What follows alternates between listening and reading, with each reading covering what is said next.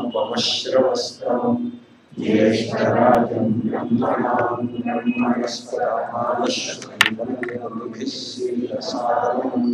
శ్రీమహాగణాధిపతయే నమః సదాశివసమారంభాం శంకరాచార్యమధ్యమాం అస్మదాచార్యపర్యంతాం వందే గురుపరంపరాం ఓం పూర్ణమద పూర్ణమిదం పూర్ణాత్ పూర్ణముదచ్యతే పూర్ణస్య పూర్ణమాదాయ పూర్ణమేవావశిష్యతే ఓం శాంతి శాంతి శాంతి దృప్తబాలాకిరహ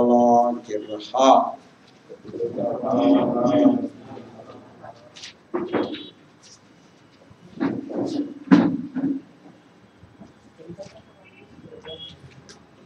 స ఏవ చ ప్రాణః బాహ్యాధారభేదేషు అనేకథా విస్తృతః ప్రాణ ఏకో దేవః ఇత్యుచ్యతే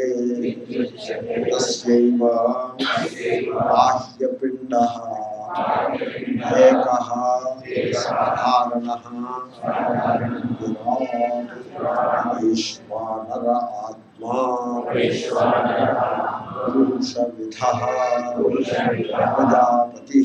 ఆత్మా పురుషవిధ ప్రజాపతి కః హిరణ్యగర్భ ఇత్యాదిభిः ప్రధానైः శబ్దైः ఆఖ్యాయతే శూన్యాదిప్రవిభక్తకరణः ఇది చాలా ముఖ్యమైన అంశం అండి ఈ విచారం. ఎందుకంటే లోకంలో అనేకత్వ దృష్టి అధికంగా ఉంటుంది సర్వంలో అనేకముగా భావన చేయుట భిన్న భిన్నంగా భావన చేయుట అనేది మనకి సమాజంలో కనపడుతుంది. ఈ అనేకత్వము ఒకే తత్వమునందు వ్యవహారం కోసం కల్పించుకున్నది అని తెలుసుకుంటే సమస్య కాదు. అలా కాకుండా ఈ అనేకత్వమే సత్యమని అనుకుంటే చాలా ఇబ్బందులు వస్తాయి. ఇప్పుడు ఇక్కడ దీన్ని ఏకజీవవాదము అంటారు. నిన్న నేను బహుజీవవాదంగా చెప్పాను. అంటే ప్రతి వాళ్ళు వేరు వేరు జీవులు ప్రతి జీవుడికి ఒక దేహము సో నా దేహంలో ప్రాణం. అలా చూడొచ్చు లేదు దాన్ని బహుజీవవాదం. అలా కాకుండా ఇంతమంది జీవులు లేరు. ఒకే జీవుడు ఉన్నాడు. ఆయనకే ఆ జీవుడికే బ్రహ్మాండ శరీరి ఒకే జీవుడు ఉన్నాడంటే ఆ ఒకే జీవుడు మీరు నేను అలా అవుతామండి? మిగతా వాళ్ళందరూ ఉన్నారు కదా. కాబట్టి ఒకే జీవుడు అంటే అది ఇంకా ఫలానా వాడు కాదు. బ్రహ్మాండ శరీరం. మొత్తం బ్రహ్మాండమంతా దేహము కాగలదు ఈ బ్రహ్మాండము అది ఆ పరమేశ్వరుని యొక్క రూపం. పరమేశ్వరుడే బ్రహ్మాండ రూపంగా ప్రకటమైనాడు. ఇప్పుడు ఒక మనిషి ఉన్నాడు అనుకోండి ఇప్పుడు రాముడు అంటే దేహము లేకుండా రాముడిని మీరు ఎలా భావన చేస్తారు? దేహం ఉండాలి రాముడితో దేహం ఉంది. అంటే మనస్సు లేకుండా రాముడిని భావన చేయగలరా? చేయలేము. దేహం ఉంది కానీ మనస్సు లేదంటే అలాంటి రాముడు ఎక్కడైనా ఉంటాడా?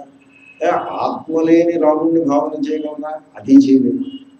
కాబట్టి ఒక నామము రూపము ఎప్పుడైతే మీరు ప్రవేశపెట్టారో ఇప్పుడు దేహము ఆ బాహ్య దేహము ఆంతరమైన సూక్ష్మదేహము ఈ రెండింటినీ నిలబెడుతూ ఉండేటువంటి ఆత్మ చైతన్యము మూడు అంశాలు వస్తాయి. మూడు కాకుండా నాలుగు కూడా పెట్టచ్చు. ఈ దేహము సూక్ష్మదేహము మనస్సు ప్రాణము ప్రాణం కూడా ఉండదు కదా. అది కూడా సూక్ష్మదేహంలో భాగమే. సూక్ష్మదేహాన్ని రెండు చేయండి. ఒకటి విజ్ఞాన శక్తి రెండు క్రియాశక్తి రెండు కలిగితే సూక్ష్మదేహం అవుతుంది. సూక్ష్మదేహాన్ని రెండు భాగాలు చేశామనుకోండి ప్రాణము విజ్ఞానము. క్రియాశక్తి అంటే ప్రాణం విజ్ఞానము. ఆత్మ నాలుగు వచ్చేది దేనికి దానికి పేర్లు ఉంటాయి? ఇప్పుడు రాముడు ఫలానా మనిషి ఒక వ్యక్తి ఉన్నాడంటే ఆ వ్యక్తికి స్థూలదేహం ఉంటుంది ప్రాణం ఉంటుంది బుద్ధి లేక మనస్సు ఉంటుంది ఆత్మ చైతన్యం అదేవిధంగా ఎంత బ్రహ్మాండే తత్ పిండాండే ఎంత పిండాండే తత్ బ్రహ్మాండే. పాస్పోర్ట్ సైజ్ ఫోటోగ్రఫీకి మనిషికి ఉన్నట్టు. మనిషి ముఖం మీద మచ్చ ఉందనుకోండి పాస్పోర్ట్లో కూడా అది వస్తుంది. సో పాస్పోర్ట్ సైజ్ ఫోటోగ్రాఫ్లో మచ్చ మచ్చ ఉందనుకోండి మనిషి ముఖం మీద కూడా అది ఉంటుంది రెండింటికి కరస్పాండెన్స్ ఉంటుంది కదా. అలాగే ఇక్కడ కూడా. ఇప్పుడు మనిషిలో ఈ నాలుగు అంశాలు ఉన్నాయి కదా. అదే మీరు బహుజీవవాదం చెప్పినప్పుడు అలా నాలుగు చెప్పారు మీరు ఏకజీవవాదంలో తినండి ఏకజీవవాదంలో ప్రథమ జీవుడు ఎవరు? సృష్టికర్త. ఆయన ప్రకటన అవుతాడు. పరబ్రహ్మ నుండి ప్రకటన అవుతాడు సృష్టికర్త. ఎలా అయితే వ్యక్తికి ఉపాధి ఉంటుంది ఆ సృష్టికర్త కూడా ఉపాధి ఉంది. సోపాధిక. వీడు వ్యక్తి సోపాధికుడు కదా. వీడి ఉపాధులు ఏంటి? దేహము ప్రాణము మనస్సు. వీడి ఉపాధులు పరమేశ్వరుడు కూడా ప్రజా సృష్టికర్త రూపంగా ప్రకటన కాగానే ఆయన కూడా మూడు ఉపాధులు. కాబట్టి ఆ, పురాణ పరిభాష అంతా కూడా కలగాపూర్ణంగా అయిపోతుంది.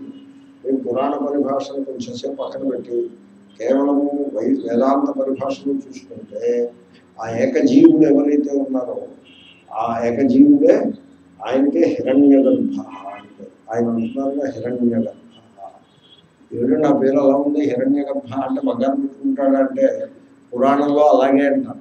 ఆయన బంగారం అంతా ఒళ్ళంతా బంగారమే అలాగే చెప్తారు. పురాణం అనేప్పటికీ హిరణ్యం అంటే బంగారమే. కానీ వేదా ఉపనిషత్తులో అలా కాదు. బంగారం కాదు. బంగారం బంగారం అంటే అది మెటల్ అలా కాదు. హిరణ్య శబ్దానికి తేజస్సు అని అర్థం. తేజస్సు హిరణ్యం. తేజస్సు నిండిన వాడు.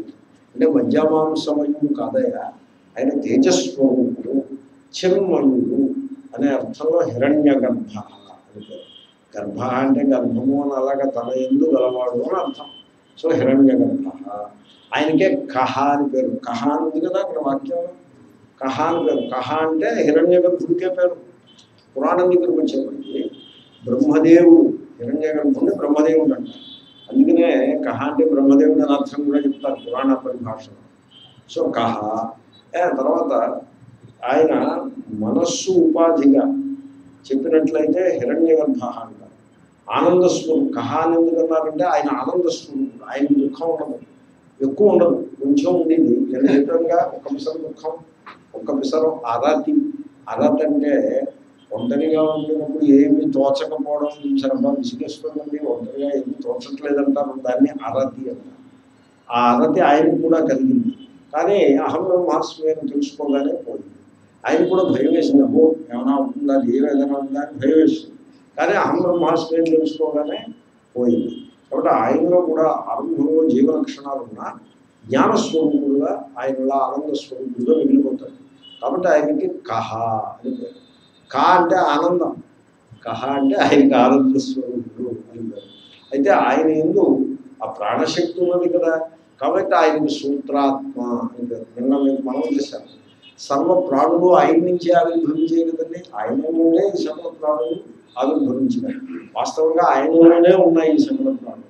కాబట్టి ఆయనకి ప్రజాపతి ఇలాగా తర్వాత సకల ప్రాణులలో ఆయన ప్రాణశక్తి రూపంగా ఉన్నాడు ఆ ప్రాణశక్తి ఏమన్నా ప్రాణశక్తి బలంగా ప్రకటమయ్యేది ఎక్కడో చెప్పుకుంటారా? ఉదరం ఆకలి. ప్రాణం ఉందన్నదానికి దృష్టాంతం ఏంటి? ఆకలి. ఆకలి వేసిందంటే వాడు ప్రాణంతో ఉన్నాడు. ఇంకా నాకు ఆకలి వేయట్లేదు నేను తిండి తిప్పలేదంటే పోతాడు ఎప్పుడు? ఆకలి. సకల ప్రాణులందు ఆకలి రూపంగా ఉన్నటువంటి వాడు ఆ హిరణ్య గర్భుడే ఆ హిరణ్య గర్భుడే సకల ప్రాంతంలో ప్రాణశక్తి రూపంగా అనగా ఆకలి రూపంగా ఉన్నాడు. కాబట్టి ఆయనకి వైశ్వానర అని తర్వాత ఈ చేతికి ఆత్మ ఏమిటి? నేను. కాలుకి ఆత్మ ఎవరు? నేను. ముక్కుకి కన్నుకి నేనే. కాబట్టి ఈ సకల జీవులు వేరువేరుగా ఉన్నట్టు భాషించే ఈ సకల జీవులకు ఆత్మ ఎవరు? ఆ హిరణ్య ఫైనల్ ఆత్మ నిర్గుణ పరబ్రహ్మ అది ఫైనల్ ఇది ఇంటర్మీడియట్గా ఒక స్టేజ్ పెట్టుకున్నాం కదా హిరణ్య గర్భుడని కాబట్టి ఆయనకి ఆత్మ కూడా ఏమండి తర్వాత ఆయన వైశ్వానర అని పేరు. ఎందుకంటే సకల ప్రాణులలో ప్రాణశక్తి స్వరూపుడుగా ఆకలి రూపంగా ఉన్నాడు కనుక ఆయనకే వైశ్వానర అని పేరు. అహం వైశ్వానరం భూత్వ ఆ శ్లోకం చదివితే ముందు భోజనం చూస్తుంది ఆకలి వేస్తుంది వైశ్వానం గురించి మాట్లాడగానే ఆకలి వేసి ఏదైనా ఇడ్లీ దోషం ఉంటే బాగుంటుంది. అనిపిస్తుంది సాయంకాలం సమయం సో ఆయనకి వైశ్వానర అని పేరు తర్వాత ఈ బ్రహ్మాండ దేహం అంతా కూడా ఒకే దేహం కింద మీరు తీసుకోండి. మీ దేహం వేరు నా దేహం వేరు ఇన్ని దేహాలు వేరు మీరు తీసుకోండి. ఏక బాహ్య పిండ. ఆ పిండం ఏమిటి? బ్రహ్మాండం. అది ఆ హిరణ్య గర్భుని యొక్క స్థూల దేహం. ఆ స్థూల దేహ దృష్ట్యా ఆయనకే విరాట్ అని పేరు. విరాట్ అని పేరు ఎందుకు వచ్చిందో చూసిన వివిధం రాజ్యతే విరాట్ చెట్టు చేమలుగా పర్వతాలుగా నదులుగా సముద్రంగా గ్రహాలుగా నక్షత్రాలుగా ఎన్ని రూపాలుగా ఆ బ్రహ్మాండ శరీరం పరమాత్మ ఒక్కడే ప్రకాశిస్తున్నాడు కనుక ఆయనకి విరాట్ ఉంది నేను ఏం గమనించానంటే ఈ వేదాంత కోర్సు చూడటం చూడండి బ్రహ్మచారి విద్యార్థులు వాళ్ళకి ఈ హిరణ్య గర్భ వృత్తాంతం సరిగ్గా తెలియదు. ఎందుకంటే ఆ క్లారిటీ చెప్పి వాళ్ళు ఉండాలి. ఇప్పుడు కూడా విద్యార్థిని బట్టి వాడికి పాఠం చెప్పిన వాళ్ళని మనం అంచనా వేసేయచ్చు విద్యార్థిని బట్టి. ఎందుకంటే విద్యార్థి సిన్సియర్గా ఉంటాడు. ఆ చెప్పేవాడు ఎలా చెప్తే అలాగా.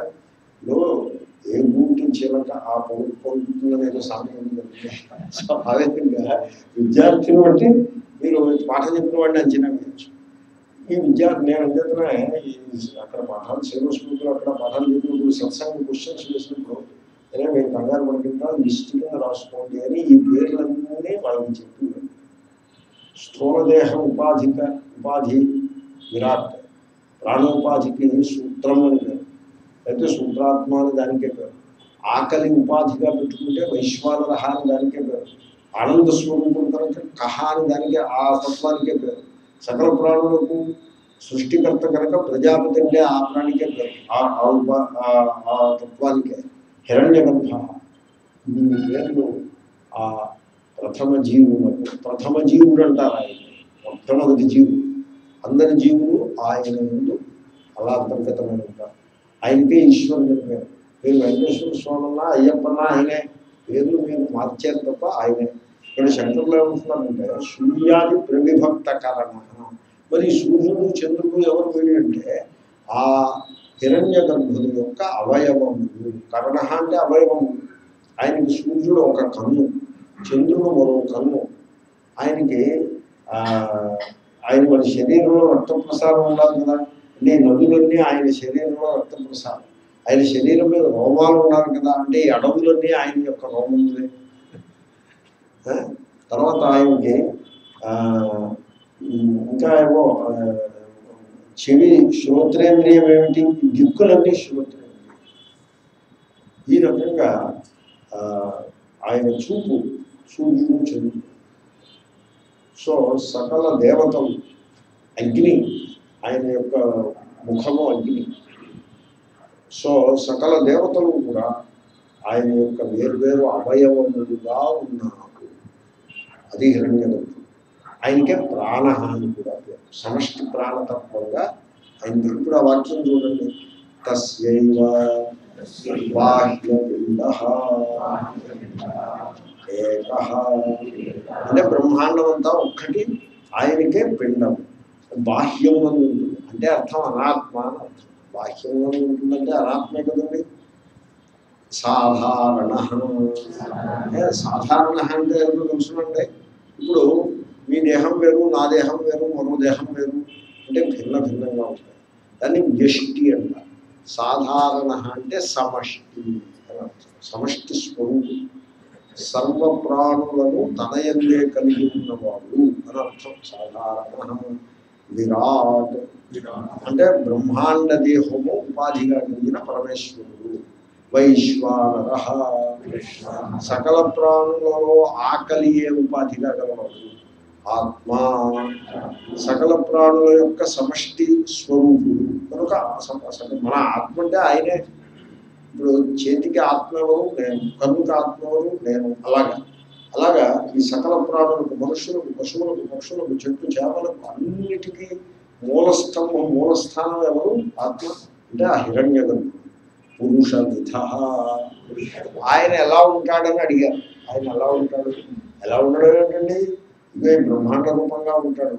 కాదండి బ్రహ్మాండం గుడ్డులో ఉంటుంది కదా.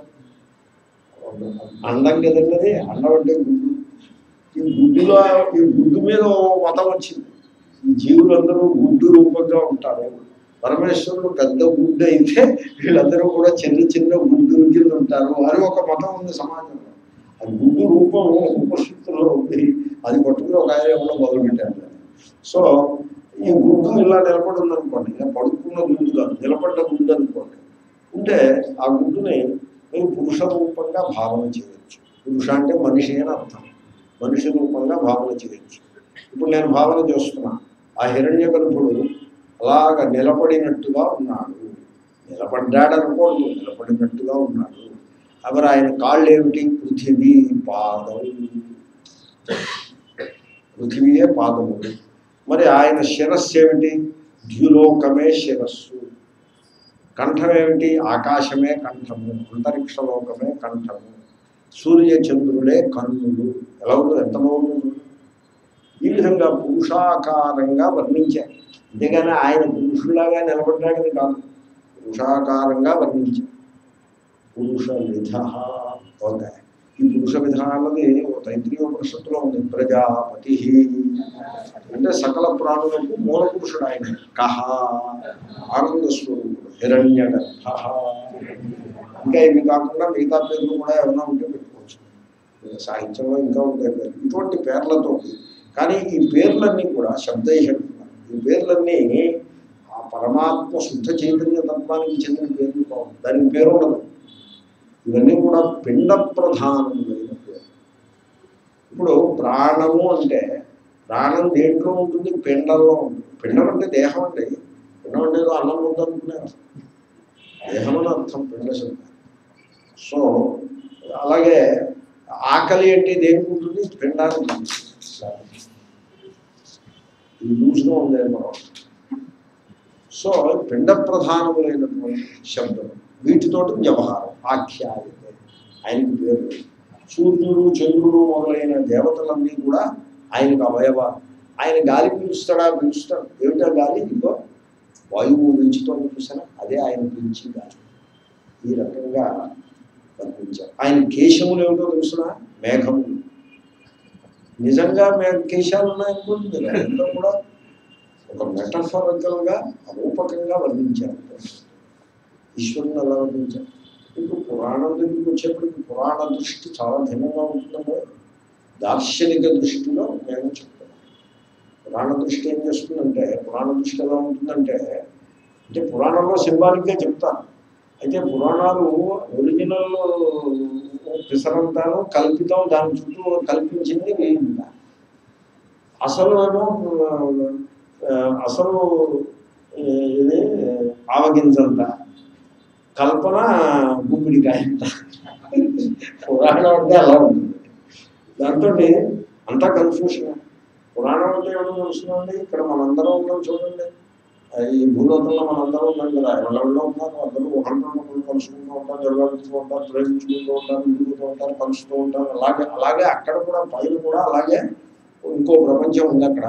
ఇక్కడ ఉన్నట్టే అక్కడ కూడా జనాలు చాలా మంది ఉన్నారు.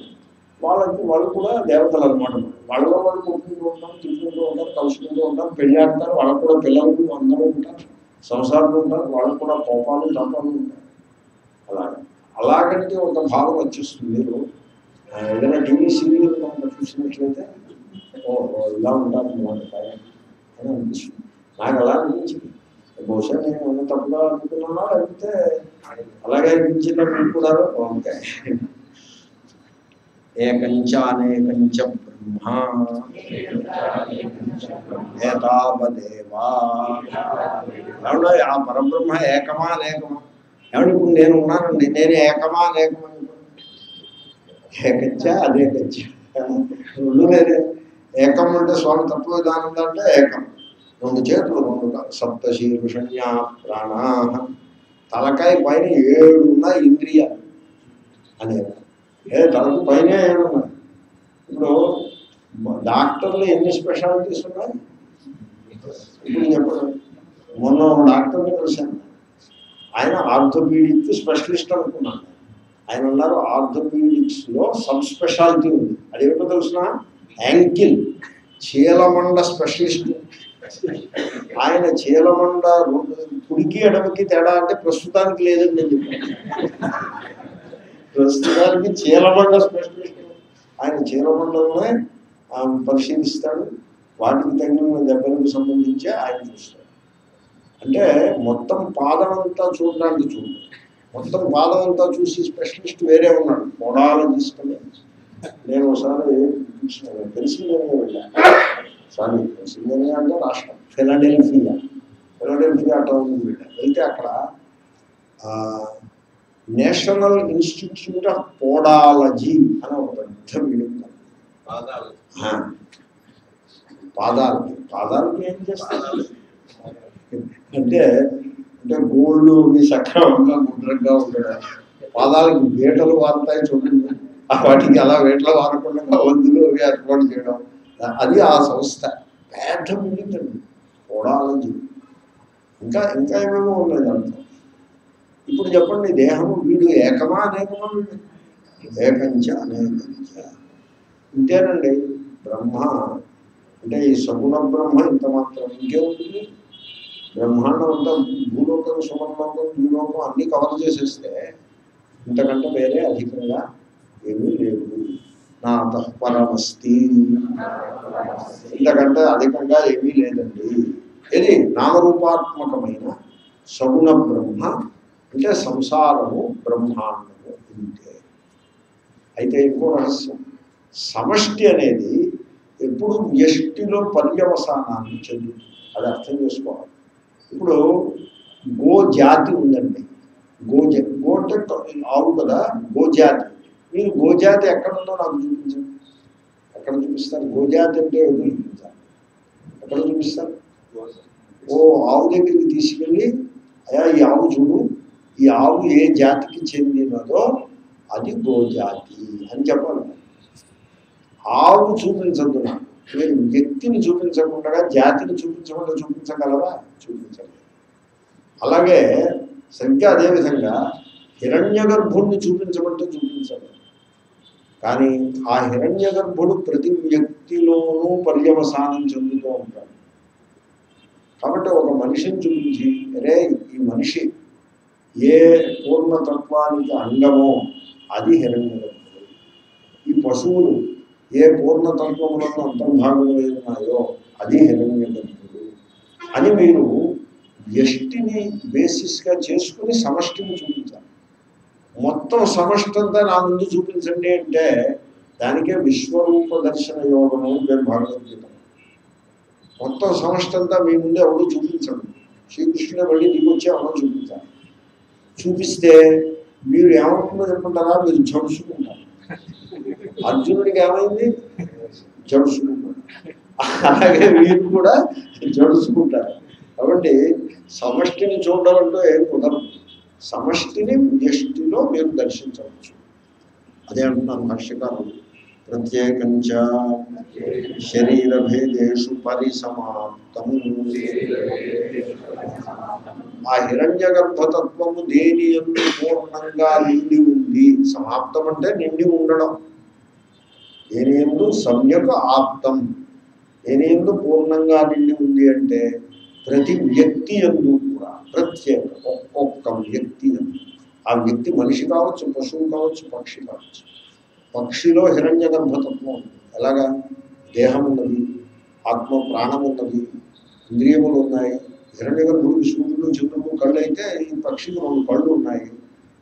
తర్వాత దాంట్లో గాలి పీలుస్తుంది విలుస్తుంది మొత్తం హిరణ్య గర్భ లక్షణాలు అన్నీ దానికి కూడా ఓ ఆనందం కలుగుతుంది. కహ అది కూడా సంతానాన్ని కలుగుతుంది ప్రజాపతి అన్నీ ఉన్నాయి. కాబట్టి ఆ సమష్టి హిరణ్య గర్భుడు ప్రతి వ్యక్తి ఎందు పర్యవసానాన్ని చెందుతూ ఉంటాడు. చేతనావత్. తర్వాత చూడండి దేహము ఇంద్రియములు ప్రాణము మనస్సు ఉండి ఆత్మ చైతన్యం లేకుండా ఉండడం అనేది కుదరదు. ఇది ఎలాగంటే ఫ్యాన్కి రెక్కలు ఉన్నాయి ఆ గుడి ఉంది కంటి ఉంది ఫిక్స్ చేసి ఉంది కానీ ఎలక్ట్రిసిటీ లేదన్నట్టుగా ఉంటుంది. అలా కుదరదు కాబట్టి ఇదంతా పిండము. స్థూలమైన పిండము సూక్ష్మమైన దేహం. స్థూల సూక్ష్మం. ఈ స్థూల సూక్ష్మ దేహములను వీటికి మూల స్థానంలో ఉన్నటువంటి చైతన్యం అంటే ఎరుక ఆ తెలివి దాన్ని చైతన్యము అని సంస్కృతంలో అంటారు. అవేర్నెస్ అని ఇంగ్లీష్లో అనొచ్చు. కొంతమంది కాన్షియస్నెస్ అని కూడా అంటారు తప్పేం కాదు. దానికి తెలుగులో అయితే తెలివి ఎరుక అనొచ్చు. తెలివి అంటే ఆ పర్టికులర్ తెలివి కాదు. నాకు తెలివి వచ్చింది అలాగంటే తెలివి ఆ తెలివి వచ్చింది అన్నది కరెక్టే తెలివి అంటే ఆ ఘటన తెలిసింది పటం తెలిసింది అలా కాదు. ఈ విశిష్ట నామరూపములన్నీ ఏ తెలివిలో తెలుస్తాయో ఆ తెలివి. కాబట్టి కొంత ఒకప్పుడు దాన్ని తెలివిడి అని కూడా డి అనే పదాన్ని కూడా దానికి జత చేయొచ్చు. చేస్తే ఆ సమష్టి మీనింగ్ వస్తుంది ఆ సాధారణ అర్థం వస్తుంది. అదో ఆ చైతన్యం అది ఉండాలి. అది ఉన్నప్పుడే ఈ బాహ్య పిండం కానీ సూక్ష్మదేహం కానీ ఇవన్నీ కూడా స్థితిని కలిగి ఉంటాయి. వాటి యొక్క వ్యవహార యోగ్యములు కూడా అవుతాయి. కాబట్టి ఈ పిండము హిరణ్య గర్భరూపంగా ఉండే బ్రహ్మాండ శరీరము చైతన్యమును కలిగి ఉంది. కర్తృభోక్తృచ అది కర్త భోక్త కూడా పైగా. ఎందుకంటే హిరణ్య గర్భుడు నేను సృష్టి చేస్తాను అని అనుకుంటాడు సృష్టి చేస్తాడు. కర్తృత్వం చేసిన సృష్టిని చూసి ఆ బాగా చేశాను అని భోక్తృత్వం. అలా ఉంటుంది. హిరణ్య గర్భుడికి కూడా ఆత్మస్వరూపం తెలియకపోతే కర్తృత్వ భోక్తృత్వాలు ఉంటాయి. అప్పుడు హిరణ్య గుడు కూడా బంధి బంధింపబడతాడు కర్తృత్వ భోక్తృత్వం ఉందంటే బంధంలో పడ్డాడన్నమాట. ఇది అవిద్యా విషయమేవా? ఇప్పుడు రెండు టాపిక్స్ ఉన్నాయి. విద్యా విషయము అవిద్యా విషయము అని అనుకున్నాం కదా. మరి ఇదంతా ఇప్పుడు దాకా చెప్పిన ఈ కథంతా ఏమిటండి? ఇది విద్యనా అవిద్యనా అంటే అవిద్య. ఎందుకంటే మీరు కర్త భోక్త అని ఎప్పుడైతే అన్నారో ఉపాధిని ఎప్పుడైతే పట్టుకున్నారో అవిద్యలో పడుకుంటున్నారా విద్య అంటే ఏకం అద్వితీయం అది విద్య అంచేతనే మీకు హిరణ్య గర్భుణ్ణి ఏకహ అంటారు అద్వితీయ అంటారు ఎందుకంటే ఏకాక ఆపోజిట్ కూడా ఉంది అనేక। విత్ ఇన్ హిరణ్య గర్భ ఏకా ఉంది అనేక। ఉంది కానీ ఇంకా పరబ్రహ్మ దగ్గరికి వెళ్తే ఏకాలే అద్వితీయం no second without one without second. వెరాజ్ దిస్ ఏక ఏక అండ్ ఆల్సో అద్వితీయం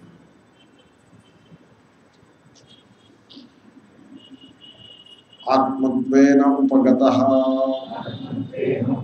కాబట్టి ఇదే ఆత్మ అనుకున్నాడు ఆయన ఇది ఆత్మ ఇది ఆత్మ అంటే ఏమిటి హిరణ్య గర్భం ఒకసారి నాకు బాగా గుర్తుండే ఒకసారి నేను మా నాయనగారిని అడిగాను ఏమన్నా ఈ అద్వైతం ద్వైతం ఈ భేదాలన్నీ ఎలా వచ్చాయి అసలు ఈ ఇంత ఇంత మిస్టేక్కి అవకాశం ఎక్కడి నుంచి వచ్చిందంటే ఆయన చెప్పారు వేరే ఒకటిరా సంగతి దీంట్లో రహస్యం ఏంటంటే హిరణ్య గర్భతత్వం అనేది ఒకటి ఉంది అదే ఫైనల్ అనుకున్న వాళ్ళందరూ ద్వైతులుగా మిగిలిపోతారు. ఇప్పుడు హిరణ్య గర్భ ఒక వైష్ణవ సిద్ధాంతం ఉందనుకోండి. ఆ హిరణ్య గర్భుడికి విష్ణు అని పేరు పెట్టేసి కూర్చుంటారు. అది ఫైనల్. ఇంకా విష్ణువు కంటే పైన ఇంకే ఇంకేం లేదు. అంటే ఇంకొకళ్ళు లేచి ఆ హిరణ్య గర్భుడికే శివుడు అని పేరు పెట్టారు. వాడు మళ్ళీ ఇంకో దుకాణం. వాడు విష్ణువుకి ఆపోజిట్ అదే పోనీ అదే పరమాత్మకి పేరు మార్చాం అలా అనుకో. ఏ దెబ్బలాడుకుంటారు వీళ్ళిద్దరు. విష్ణువు శివుడు దెబ్బలాడుకుంటారు. దెబ్బలాడుకుంటే దేని గురించి దెబ్బలాడుకుంటున్నట్టు? పేరు గురించి దెబ్బలాడుకుంటారు. ఏ దానికే గాడ్ అని ఇంకో పేరు పెడతారు. అల్లా అని ఇంకో పేరు పెడతారు. పేరు మారిపోయేప్పటికి ఇంకా యుద్ధాలు వచ్చేస్తాయి. దెబ్బలాట్లు వచ్చేస్తాయి. ఏ ఇంకొక ఆయన వచ్చి ఈ శివుడు ఈ విష్ణువు రెండు వేరు వేరు కాదు ఒకటే అని మరొకటి మొదలు పెడతాడు హరిహరాద్వైతం అని. అంటే హరిని యాక్సెప్ట్ చేస్తాడు హరాని యాక్సెప్ట్ చేస్తాడు రెండు వేరు కాదని మళ్ళీ ఇంకోటి ఏదో యాక్సెప్ట్ చేస్తాడు. సమ్ కైండ్ ఆఫ్ రికన్సిలియేషన్ తత్వం అసలు ముందు హరి హర కల్పితం అనుకుంటే ఇంత సమస్య లేదుగా అలా ఉంటుంది సో మా నాన్నగారు చెప్పిన ఏంటంటే వీళ్ళందరూ కూడా హిరణ్య గర్భ టాపిక్లోనే మిగిలిపోయినారు దాన్ని దాటలేదు. అంచేతనే మీకు ఇన్ని విభేదాలు వచ్చాయి. హిరణ్య గర్భతత్వాన్ని మీరు దాటేస్తే విద్యా టాపిక్లో పడిపోతే అసలు విరోధమే ఉంది ఎందుకంటే విరోధం ఉండాలంటే ద్వితీయం ఉండాలి. ద్వితీయం లేకుంటే ఏమి విరోధం చేస్తారు? ఎవరితో విరోధం చేస్తారు? దట్ ఈస్ ది సీక్రెట్ కాబట్టి క్రిస్టియానిటీ ఉందనుకోండి it comes up to Hiranya గర్భాన్ని స్టాప్స్ వైష్ణవిజం ఉందనుకోండి concept Hiranya Garbha and stops Ayyappa ism ఉందనుకోండి to Hiranya Garbha and stops same Hiranya Garbha multiple names and forms so అంచేతనే ఆ దేవుడు కూడా ఏదో ఒక రూపాన్ని కల్పించేటువంటి ప్రయత్నం కూడా మీకు సర్వత్రా ఉంటుంది ఇదంతా కూడా అవిద్యా విషయంగానే అంచేతనే అవిద్యా విషయ విషయం అంటే టాపిక్ అవిద్యా టాపిక్ కనుకనే మతభేదాలు ఒకళ్ళ మీద ఇంకొకళ్ళు వాదోపవాదాలు తిట్టుకోవడాలు ఇవన్నీ కూడా వస్తాయి తిట్టుకోవడం తిట్టుకున్న వాళ్ళు కొట్టుకుంటారంటే అది కొట్టుకోవడం అంటే సడన్గా వెంటనే కొట్టేసుకోరు ముందు తిట్టుకుంటారు కొద్దిసేపు అప్పుడు కొట్టుకోవడానికి మామూలుగా ఒకసారి ఈ టీవీలో షో వస్తుంది వీడు యాంకర్ ఒకడు ఉంటాడు. వాళ్ళు ముగ్గురులో నలుగురిలో పిలిచి చర్చ. ఈనాటి చర్చ. సరే వీడు ప్రశ్న అడిగాడు. తలా తోకాలేని ప్రశ్న. ఇప్పుడు ఆ, అక్కడ ఢిల్లీలో ఏదో అయింది కదా అది అలా అవడం మంచిదంటారా కాదంటారా? ఎవడ చెప్తుంది మంచిదే ఎవడైనా చెప్తాడా? అందరూ కాదలే అంటారు. అయితే అది అలా అయినప్పుడు అలా నాయన ఇలా అన్నాడు కదా ఇలా అలా అనొచ్చా అనకూడదా అని చూడండి కజ్జా పెట్టడానికి ఆ యాంకర్ కూర్చుని ఉంటాడు. కజ్జా పెట్టడమే వాడి పని. వీళ్ళిద్దరూ మాట్లాడుతూ ఒకడు ఒపీనియన్ చెప్పాడు వాడు పక్కనే కూర్చున్నారా? వీళ్ళు చెప్పిన దానికి భిన్నమైన ఒపీనియన్ చెప్పాడు చెప్పినప్పుడు ఆయన చెప్తుండగానే ఈ పక్కనే ఉన్నాడు కదా. ఏ అలా కాదు అలా కాదని ఆయన చెప్తుండగానే చేయి ఊపుతూనే ఉన్నాడు. అంటే ఆయన ఉండాలి నువ్వు చేయి నా ముఖం మీద పెట్టమని నన్ను చెప్పని అని ఆయన చెప్తున్నాడు. అలా ఐదు నిమిషాలు ఎందుకు కొట్టేసుకుంటారు. వాళ్ళిద్దరూ కొట్టేసుకుంటుంటే ఆ యాంకరు చాలా మంచి అతను కేఎస్ఆర్ అని మంచి సమర్థుడు. అతను వేలమోహం వేసుకుని అలా ఉండిపోయాడు కొట్టుకోకండి బాబు అని చెప్పేసి వాళ్ళతో వదిలి వాళ్ళు కొట్టేసుకుంటున్నారు కాబట్టి ఎవరైనా కొట్టుకున్నారు అంటే డైరెక్ట్గా వచ్చి కొట్టేసుకోరు. తిట్లతో ప్రారంభం అవుతుంది ఫస్ట్ ఇదంతా కూడా అవిద్యా విషయం. అంతా విద్యా టాపిక్ ఇదిగో అదే ఇక్కడ కనపడుతుంది. అవిద్యా విషయమేవ ఆత్మత్వేన ఉపగత. ఈ అవిద్యా టాపిక్ ఏదైతే ఉందో అంటే హిరణ్య గర్భుడు లెవెల్ దాకా వెళ్ళిపోయారు. ఆ హిరణ్య గర్భుడే పరమార్థము అదే పరమ తత్వము ఆత్మ బ్రహ్మ అని ఉపనిషత్తుల్లో చెప్తున్నారే అది ఈ హిరణ్య గర్భ అనుకున్నాడు ఆయన. ఇప్పుడు ఆయన అవి- అవిద్యా విషయంలో ఉన్నట్ట విద్యా విషయంలో ఉన్నట్ట మీరు చెప్పండి? అవిద్యలో ఉన్నాడు. అలా అనుకున్న ఆయన ఓ సద్బ్రాహ్మణుడు పైగా. తప్పు చేయడానికి బ్రాహ్మణుడు ఏమిటి క్షత్రియుడు ఏమిటి? అంటే తప్పుగా తెలుసుకోవడానికి వాడు బ్రా- బ్రాహ్మణుడు కాకపోతే తప్పుగా తెలుసుకుంటే వాడు బ్రాహ్మణుడు కాడా? తప్పుగానే తెలుసుకున్నాడు అంతే ఇప్పుడు బ్రాహ్మణుడా క్షత్రియుడా పాయింట్ కాదు. How he got it right or wrong? ఈ కథ చిత్రం ఏంటంటే బ్రాహ్మణుడు తప్పుగా తెలుసుకుంటాడు. క్షత్రియుడు కరెక్ట్గా తెలుసుకుంటాడు. ఈ కథలో ఉన్న మజా అది. అప్పుడు ఆ క్షత్రియుడు సిగ్గుపడతాడు. అది కూడా నమ్ముతుంది ఎందుకని? ఆయన బ్రాహ్మణుడు అండి నేను ఆయనకి దండం పెట్టాలి.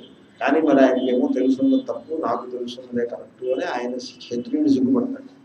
ఇప్పుడు ఆ బ్రాహ్మణుడు విధికుంటాడు మీరు సిగ్గుపడకండి జ్ఞానం దగ్గరికి వచ్చేందుకు అలా ఏమి ఉండకూడదు. నేను మీకు దండం పెడుతున్నాను నాకు మీరు చెప్పండి అంటాడు.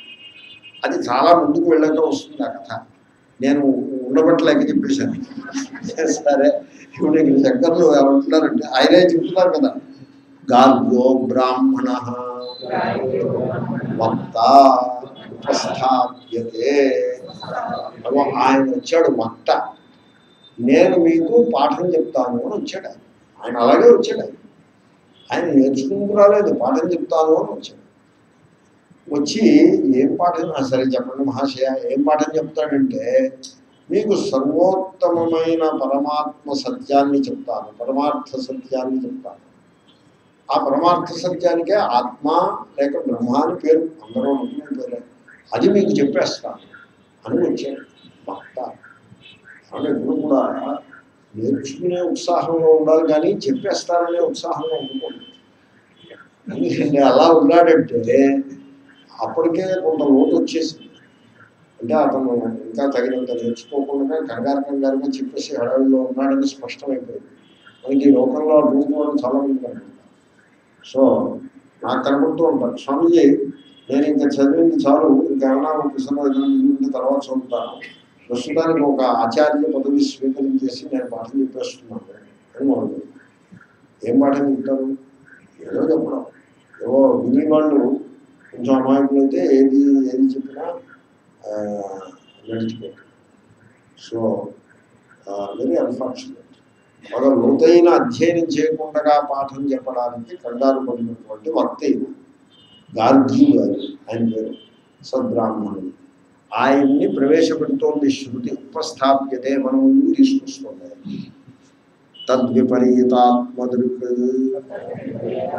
అజాతశత్రు శ్రోత అజాతశత్రు అని ఒక ఆయన ఉన్నాడు ఇప్పుడు కూడా ప్రసక్తస్యేవ నిషేధ అజాతశత్రు అనే విశేషణం బ్రాహ్మణులకు ఉండదు క్షత్రియులకే ఉంది ఎందుకంటే క్షత్రియుడికే సన్- శత్రువు ఉండే అవకాశం ఉంది కా- కాబట్టి క్షత్రియుడు ఉండే అవకాశం ఉన్నవాడికి క్షత్రి శత్రువు లేడు అని చెప్తారు బ్రాహ్మ మైత్రో బ్రాహ్మణ వచ్చింది బ్రాహ్మణుడికి శత్రువు ఉండకూడదు.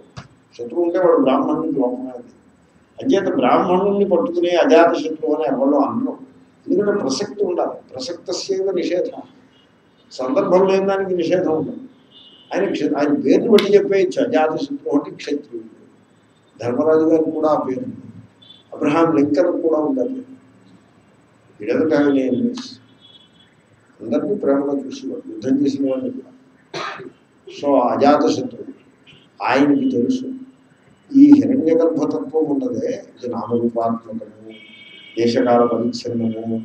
కాబట్టి ఇది సోపాధికము ఉపాధితో కూడినది. కాబట్టి పరమార్థ సత్యం కాదు అని ఆయనకి తెలుసు. ఆ పరమార్థ సత్యమైన అద్వయ పరబ్రహ్మ కూడా తెలిసాయి. కానీ తెలుసున్నవాడు మామూలుగా ఉంటాడు. నేను చెప్తాను అంటాడు. ఎప్పుడైనా సభలో ఫలానా టాపిక్ మీద మనం మాట్లాడుకుంటే బాగుంటుందండి అని ఒక ఆయన అంటాడు. అంటే సరే నేను మాట్లాడేద్దాం అని ఓ నలుగురు ముందుకు వచ్చేస్తారు.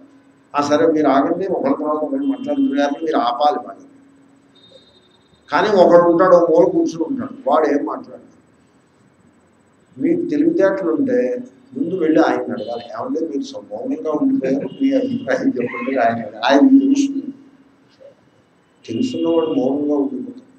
వింటాడు పాపం వాళ్ళు చెప్తా ఉంటారు కదా చెప్పండి ముఖే ముఖే సరస్వతి అని ఓపెన్ మైండ్తో వింటాడు. చూడండి అజాతశత్రువు ఆయనకి సత్యం తెలుసు. తద్విపరీత ఆత్మ అంటే నామరూప ఉపాధిరహితమైనటువంటి పరమాత్మ తెలుసున్నవాడు దృక్ సాక్షాత్కారం గల జ్ఞాని ఆయన. కానీ ఆయన వక్తగా ముందుకు రాలేదు. శ్రోతగా నిలబడి ఉన్నారు. శృతి ఆ విధంగా ఇంట్రడ్యూస్ చేస్తారు. అక్కడ శ్రోత ఉపస్థాప్యతే. అని అనువృత్తి చేసుకోవాలి ఏమం హీయత ఏమన్నా ఎందుకండి ఈ కథ ఎందుకండి పరమాత్మ తత్వాన్ని చెప్పచ్చు కదా ఎందుకు ఈ కథ ఎవరో ఇద్దరిని ప్రవేశపెట్టడం సత్యం తెలియని వారిని వక్త చేయడం సో దట్ వాడు చెప్పిందంతా పూర్వపక్షమై కూర్చుంది ఎప్పుడు కూడా తప్పుగా ఉండేది పూర్వ పూర్వపక్షం అంటే మొట్టమొదటి ముందుకు వచ్చే పక్షం మొట్టమొదటి ముందుకు వచ్చి పక్షం ఎప్పుడు కూడా ఫైనల్గా కొట్టివేయకూడదు అంచేతనే దానికి పూర్వపక్షం ఉంది. సో ఒకరిని పెట్టడం వక్త ఫైనల్గా అంతదాకా వినకుండా విని విని విని విని మౌనంగా ఉన్న ఆయన ఆయన పుష్ చేస్తే కానీ మాట్లాడు. ఆయన మాట్లాడింది సిద్ధాంతం. సో ఈ పూర్వపక్ష సిద్ధాంత ప్రక్రియతో పాఠాన్ని చెప్పినట్లయితే ఆ తత్వాన్ని చాలా బుద్ధిని బాగా వస్తుంది అందుకోసం ఈ కథని శృతి మన ముందు పెడుతోంది పూర్వపక్ష సిద్ధాంతాఖ్యాయికా రూపేణ సమర్యమాణ అర్థ శ్రోతుశ్చప్తస్య వశమేతి ఎంత సరళంగా ఉందండి భాష భాష్యకారుల యొక్క భాష సరళ ఉంటే ప్రసన్నంగా ఉంటుంది కానీ గంభీరంగానే ఉంటుంది కానీ ప్రసన్నంగా ఉంటుంది. అంటే తేట మజ్జిగ తాగుతున్నట్టుగా ఉంటుంది. అంత సింపుల్గా ఉంటుంది. సో ఆయన అంటారు అర్థ ఏదైనా టాపిక్ ఏదైనా విషయం. సమర్ప్యమాన అంటే మీ ముందు పెట్టాలి మీ ముందు పెట్టబడుతుంది సో అది అంటే ఉపదేశ్యమాన అన్నమాట. మనకి ఉపదేశిస్తూ ఎలాగా? పూర్వపక్షము సిద్ధాంతం. ఆ రెండింటినీ కథలో చూపించి పూర్వపక్ష సిద్ధాంతాలని కథలో చూపించి ఆ కథ రూపంగా కనుక మీ ముందు ఉపదేశాన్ని పెడితే అది వినివాడి చిత్తానికి తేలికగా వశమవుతుంది. అంటే బుద్ధిలో చక్కగా ప్రవేశిస్తుంది.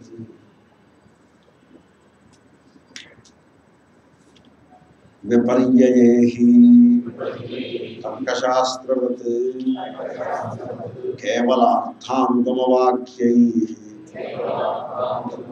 సమర్ప్యమాణ దుర్విజ్ఞేయ సత్ అత్యంత సూక్ష్మత్వాద్ వస్తునః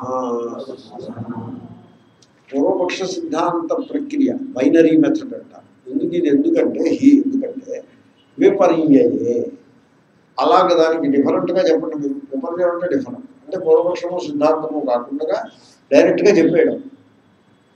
ఉదాహరణకి తర్కశాస్త్రం తర్కశాస్త్రం మీరు తర్క సంగ్రహం చదివారు కొంతమంది ఎలా ఉంటుంది పూర్వపక్షం ఉండదు సిద్ధాంతం ఉండదు ఎలా ఉంటుంది సో ఆ, సప్తపదార్థా అని మొదలైంది ఏమిటది ఏమిటి ఆ సప్తపదార్థాలు ఆ, ఏదో ఉంది ఆ, ద్రవ్య గుణ ద్రవ్య గుణ ఆ, అభావా సప్తపదార్థ ద్రవ్యము గుణము క్రియ ఆ, తర్వాత సంయోగము సంయోగం కాదు సమవాయము సంయోగం గుణాల్లో పడింది సమవాయము అభావము ఇలాగా ఎట్సెట్రా ఎట్సెట్రా ఏడు పదార్థములు గలవు ఆత్మ ఆత్మ గుణంలో ఆ- ఆత్మ కూడా పదార్థమే ఆత్మ అది కూడా ద్రవ్యమే సప్త పదార్థ అది కూడా పదార్థమే ఏ పద నవద్రవ్యాన్ని తొమ్మిది ద్రవ్యములు గలవు చతుర్వింశతి గుణా ఇరవై నాలుగు గుణములు గలవు అని. ఇంకా అక్కడి నుంచి సమవాయ సం- సమవాయ సంబంధము గంధవతి పృథివీ. గంధవతి పృథివీ అంటే సమవాయ సంబంధావచ్ఛిన్న గంధత్వావచ్ఛిన్న గంధనిష్ట ఆధేయతా నిరూపిత అధికరణతావద్వృత్తిమత్వం పృథివ్యా లక్షణం. ఇది పృథివీ యొక్క లక్షణము అనంతపురం అన్ని అవచ్ఛేదకు ధూళి బాగా పెట్టి సో అవ అవచ్ఛిన్న అవచ్ఛిన్న అవచ్ఛిన్న అవచ్ఛిన్న అనుకుంటే ఏదో దుమ్ము రేకొట్టినట్టుగా ఉంది సమవాయ సంబంధావచ్ఛిన్న కార్యతా నిరూపిత తాదాత్మ్య సంబంధావచ్ఛిన్న కారణత్వం అసమవాయ కారణం అసమవాయ కారణత్వం సమవాయ సంబంధావచ్ఛిన్న కార్యతా నిరూపిత సమవాయ సంబంధావచ్ఛిన్న కారణత్వం అసమవాయ కారణత్వం ఏమర్థం అవుతుంది అది ఈ విధంగా ధూళి రేకొట్టినట్టుగా ఉంది నేను శంకరులు ఎలా మాట్లాడిస్తున్నారు చూడండి తర్కశాస్త్రము వలె. కొంతమంది ఏం చేస్తారో తెలుసు? అసలు శంకరులు ఇలాంటి అభిప్రాయాన్ని వ్యక్తం చేశారని కూడా తెలుసుకోవాలి. ఎందుకు తెలుసుకోవాలో భగవంతుడికే తెలియాలి. పండితులు కూడా తర్కశాస్త్రం ఒక పదేళ్ళు చూడాలి ఏమిటో తర్కశాస్త్రంలో ఏమిటంటే కేవలము అర్థ అనుగమ వాక్యై. వాక్యం మీద వాక్యం వాక్యం మీద వాక్యం ఇప్పుడు నేను చెప్పినట్టుగానే అలా గుట్టలు గుట్టల కింద ఉంటుంది పారాగ్రాఫ్లు సెంటెన్స్ వాటిలో వాళ్ళు చెప్పదలుచుకున్న విషయం మాత్రమే ఉంటుంది తప్ప ఆ విషయం బుద్ధికి ఏ విధంగా వస్తుంది అది సాధకుడికి ఎంతవరకు తెలుస్తుంది వాడు జీవితంలో ఎలా పైకొస్తాడు ఈ గోళ ఏమీ ఉండదు. అటువంటి వాక్యాలతో నిండి అలాగే బోధిస్తారు అంచేతనే దుర్విజ్ఞేయ దాన్ని ఆ రకంగా కనుక బోధిస్తే తర్కశాస్త్రాన్ని కొద్దిగా గొప్ప తెలుసుకోగలుగుతాడేమో కానీ ఈ ఆత్మతత్వాన్ని మాత్రం తెలియలేదు. వాస్తవంలో తర్కశాస్త్రంలో ఇప్పుడు నేను చెప్పిన ముందాటి వాక్యాలు ఉన్నాయి సరే వాటిని కొంచెం వెనక్కొట్టి జాగ్రత్తగా పరిశీలిస్తే తెలుసుకోవచ్చు. మ్యాథమెటిక్స్లో. బైనామియల్ ధైర్యం ఉందండి. చెప్తే ఇంత పొడుగు x plus a whole power n a plus x whole power n is equal to n c zero x power n a power zero plus అని ఇలా ఇలా వస్తుంది ఇంత పొడుగు వస్తుంది అది వింటే మీకు ఏమనిపిస్తుంది? అవి బాబాయ్ స్వామికి అంతంత పెద్దది చూపిస్తున్నారు అనిపిస్తుంది ఏమీ అర్థం కానట్టుగా అనిపిస్తుంది. కానీ కొంచెం ఓపికగా కూర్చుంటే ఇంటర్మీడియట్ విద్యార్థులు కూడా మీకు చెప్పేయగలుగుతారు. వాళ్ళకి తెలుసు. నేను అక్కడి నుంచే పంపించాను. దీనికోసం పెద్ద మహావిద్వాంసుడైన కానక్కర్లా ఈ తర్కశాస్త్రం కూడా అలాంటిది కొంచెం బుద్ధి దాని మీద పెట్టి ఆ పదాలు ఆ ధోరణి అలవాటు చేసుకుంటే మీరు కూడా ఆ ధూళిని లేకపోవచ్చు కానీ ఈ ఆత్మవస్తువుని చూసారా? అంత సూక్ష్మమైనది అంత అంత సున్నితంగా ఉంటుంది. ఇంత ఉండదు. అలా దుడ్డుగా ఉండదు. సున్నితంగా ఉంటుంది చాలా సూక్ష్మంగా ఉంటుందండి. ఇదో కనురెప్ప పాటులో మీరు పొరపాటు పడే అవకాశం ఉంది. చాలా సూక్ష్మంగా ఉంది. దాన్ని తెలుగులో సామెత ఉంది. వడ్ల గింజలో బియ్యపు గింజ అంటారు. అంటే ఏమిటి? అక్కడే ఉంది. మీకు కనపడవచ్చు కనపడకపోవచ్చు. మీకు తెలియచ్చు తెలియకపోవచ్చు. అంత సూక్ష్మంగా ఉంది. మహాబహులు పల్టీలు కొడుతూ ఉంటే ఆశ్చర్యం వస్తుంది. వస్తుంది ఇంత ఇంత వేదాంతం చదివి ఈ పాయింట్ పట్టుకోలేకపోయారు అది తెలుసుకోండి చాలా సూక్ష్మంగా. ముఖ్యంగా ఆత్మ అనాత్మ వివేకం దగ్గర అక్కడ పెద్ద పెద్ద వాళ్ళు పడుకుంటూ ఉంటారు. అలా స్పష్టంగా ఉంది. టీవీలో పూర్వానికి అనేవారు మొగసాలకు ఎక్కి ఏవో తప్పు పాఠం చెప్పాడు అని ఏదో ఏదో అక్కడో మధ్య మొగసాల అంటే పది మంది వచ్చేటువంటి ఒక పెద్ద సమావేశంలో వీళ్ళు ఏదో ఏదో చెప్పడం. ఈ రోజుల్లో మొగసాలకు ఎక్కి అనుకోండి టీవీ ప్రోగ్రాంలోకి ఎక్కి అని అనవసరం. పది మందికి చెప్పారు చెప్పేప్పుడు కొంచెం ముందు వెనక చూసుకోవడం ఏమైనా చెప్పాడు ఇంకెవరు కాదని వాడు ఎవరు ఉండడు. ఎందుకంటే ఇద్దరు లైట్ మెన్లు ఇద్దరు ఫోటోగ్రాఫర్లు ఉంటారు. వీళ్ళ పైన ఒక అధికారం కూర్చుని ఉంటాడు ఈ ఐదుగురు ఉంటారు ఈ ఫోటో తీశారు ఈ టీవీ ఫోటో. ఈ ఐదుగురులో ఓ అంటే నా వచ్చిన ఒక అంటే ఓం నమ శివాయాలో మొదటి రెండు అక్షరాలు కూడా రావాలి అక్షరాలు వాళ్ళ- వాళ్ళకేమీ సంబంధం లేదు. మీరు ఏది చెప్తే అదే వాళ్ళు రికార్డ్ చేసుకుపోతారు వాడు ఎంతసేపు కలర్ బాగా వచ్చిందా లేదా? మైక్ కేసు చూస్తున్నాడా అది టీవీ వాడికి ఎంతసేపు బొమ్మ ముఖం ముఖానికి ఫాలో పోవడం కొడతానంటాడు తప్ప నేను అడిగాను కూడా వాడిని ఏమంటే మీరు ముఖం చూసుకుంటున్నారు బొట్టు చూసుకుంటున్నారు నేను చెప్పింది ఏమైనా చూసుకుంటున్నారా అంటే అది ఏదో మీకే తెలియాలంటే ఆ దాని గురించి మీకు అవుతుంది. నేను అన్నా నేను చెప్పింది కూడా చూడవయా అంటే అది మాకు ముద్దులండి మీరు అది మీరు చూసుకోండి మేము ఇది మాత్రమే చూసుకుంటాం సో కాబట్టి ఆత్మతత్వం అత్యంత సూక్ష్మంగా ఉంది. అలాగా కనురపు దాంట్లో మీరు మిస్టేక్ చేసే అవకాశం ఒక మిస్టేక్ చేసి కూర్చున్నారంటే అది ఆ మన కర్మ మన ఉపాసన అన్నీ కూడా ఏవో పెడదారిని పోతాయి చాలా చిత్రంగా ఉంటుంది ఆత్మవస్థ మీరు ఉదాహరణకి ఎవరితోటైనా వాదనలోకి దిగారనుకోండి ఏమాయి నీకు తెలియదు అద్వైతం అంటే నీకు తెలియదు. నాకు తెలుసు నేను చెప్తా నువ్వు విను అని మీరు వావదూక దృష్టితో అంటే వాదం చేసి నెగ్గాలనే అభిప్రాయంతో మీరు దిగారనుకోండి అంతటి పండితుడికి అద్వైతం యొక్క రహస్యం తెలియలేదని తెలిసిపోతుంది. అంత సున్నితంగా ఉంది. నేను ఇంకా ఒక దృష్టాంతం చెప్పాను ఆత్మ అనాత్మ వివేకం దగ్గర పెద్ద పెద్ద వాళ్ళు పల్టీలు కొట్టడం నేను చూశాను. ఆత్మ అంత సూక్ష్మంగా ఉంది. సో ఒక ఆయన ఉన్నారు ఆత్మ అనాత్మ అంటున్నారు కదా అనాత్మని రిజెక్ట్ చేయాలి ఆత్మ తెలియాలంటున్నారు కదా మరి ఆ రిజెక్ట్ చేసిన అనాత్మ వచ్చి మళ్ళీ మిమ్మల్ని పట్టుకు పీడించదా అని అడిగాడు. అర్థమైందా మీకు ప్రశ్న?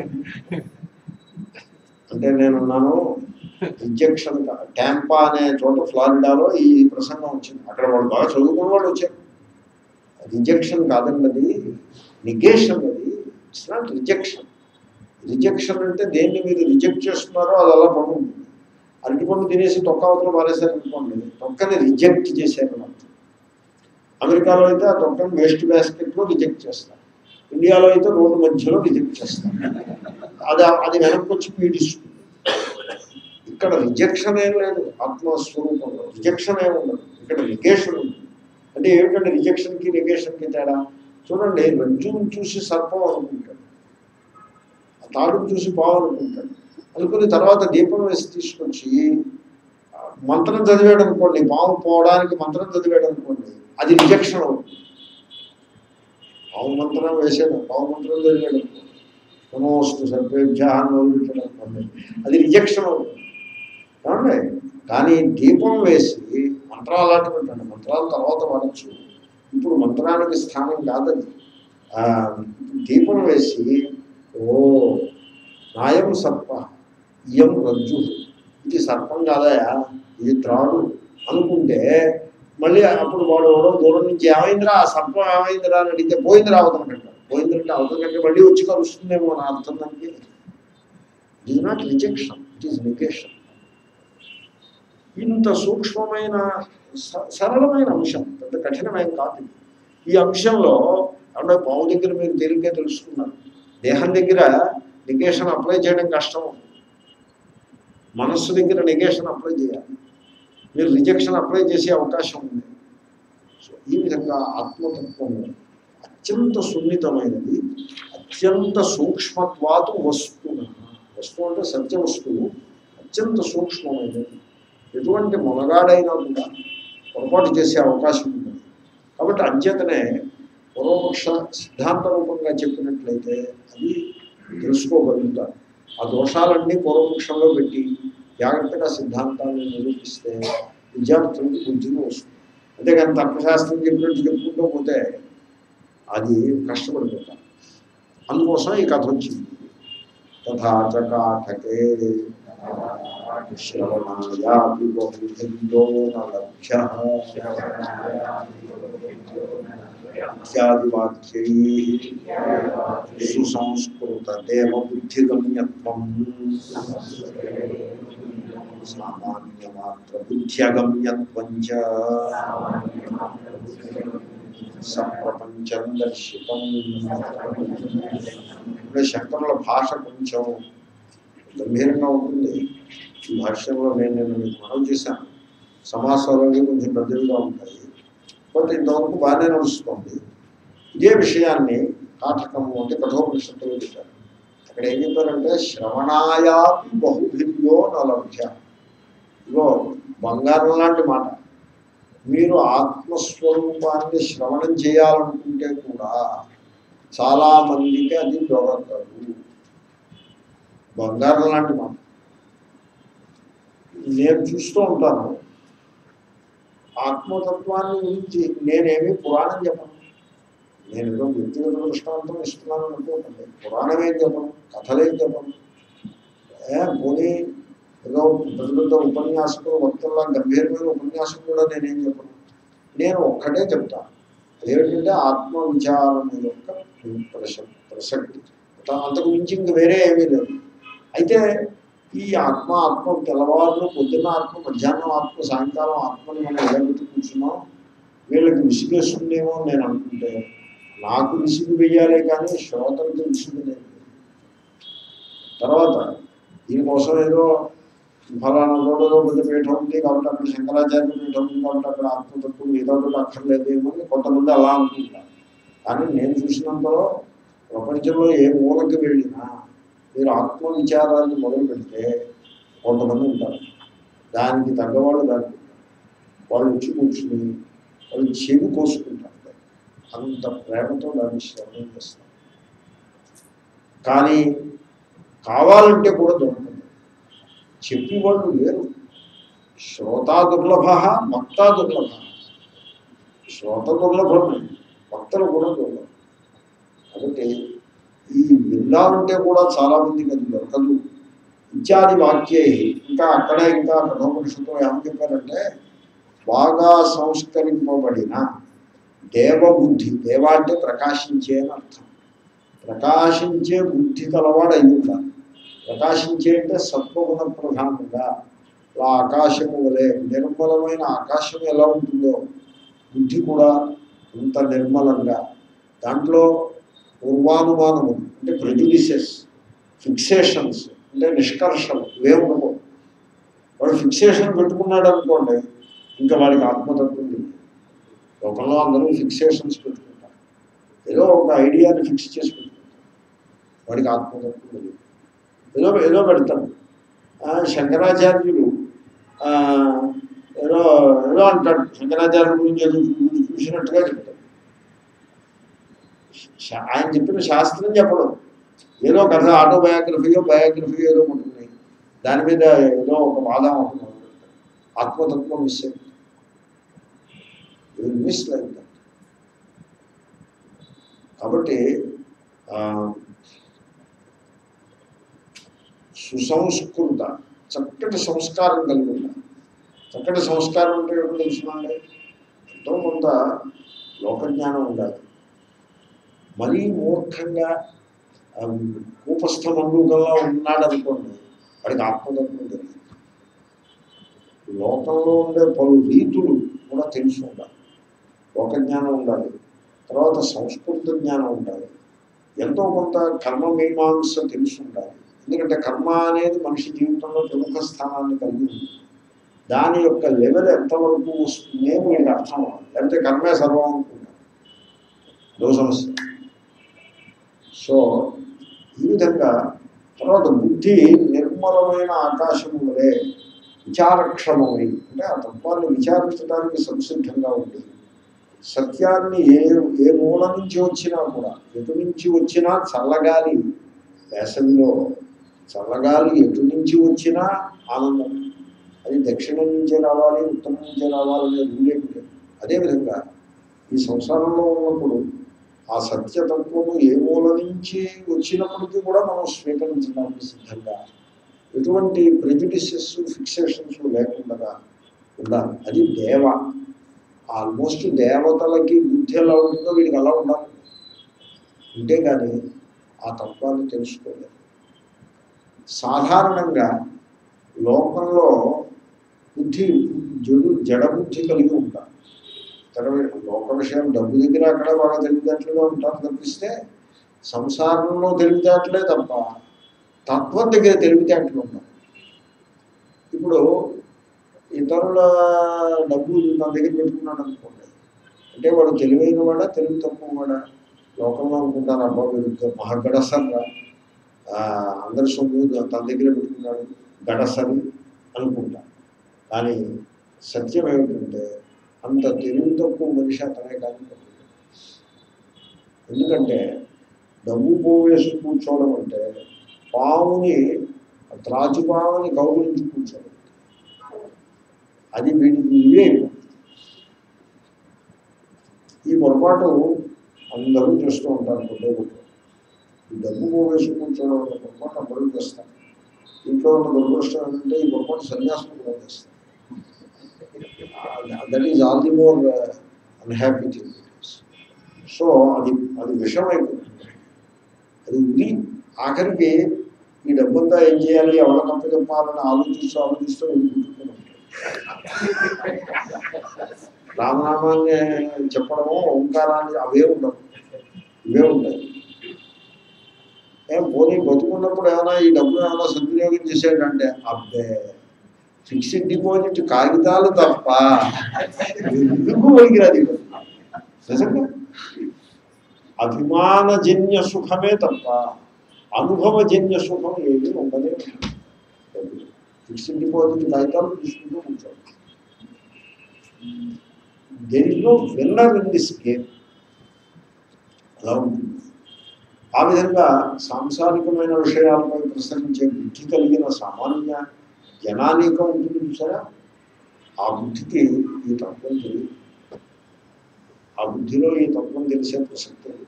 సామాన్య మాత్ర బుద్ధి అగమ్యత్వంచ ఇదంతా కూడా కఠోపనిషత్తులో చాలా వివరంగా చూపించారు స ప్రపంచం దర్శితం అక్కడ ఇంకా వివరాలు చెప్పారు ఆ, ఆ, ఎలాగంటే ఆయమాత్మా ప్రవచనేన లభ్య నేధయా బహునా శ్రుతేన ఇమే వైషమ్యతే తేన లభ్య తస్యైష ఆత్మా వివృంతే తమ స్వాం మంత్రం ఇత్యాది మంత్రాలలో చాలా విస్తృతంగా మీకు కఠోపనిషత్తులు చెప్పారు. చాలామంది అనుకుంటారు కఠోపనిషత్తులు ఏమి తెలియదు ఈ వేదాంతంలో ఇదో సమస్య.